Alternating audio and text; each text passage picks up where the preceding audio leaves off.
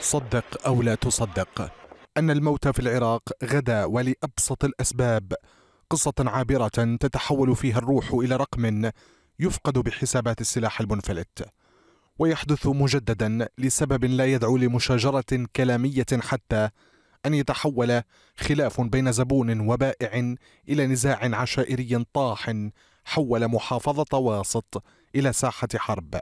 وبأسلحة نارية متوسطة وخفيفة. خلاف يرقى بحسب شهود عيان إلى فاجعة أرقت وتؤرق العراق. ولا زال خبثها متفش في خفايا الجيوب بيد جاهزة على الزناد دون اكتراث لقانون أو سلطة أو روح.